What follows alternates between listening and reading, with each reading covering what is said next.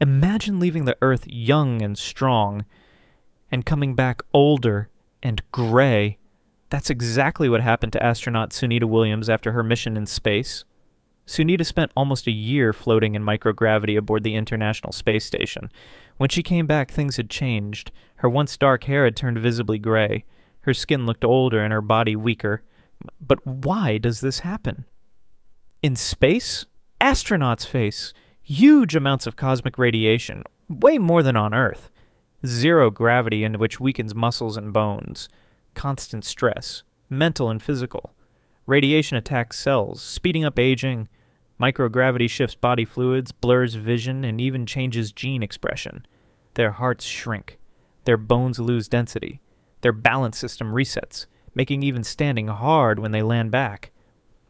But even after all that, Sunita Williams came back smiling, a true space hero. She showed us that exploring the final frontier comes with real risks, but also incredible courage. Would you brave aging, radiation, and the unknown to reach the stars? Drop a rocket in the comments if you would, and smash that follow button for more amazing space stories.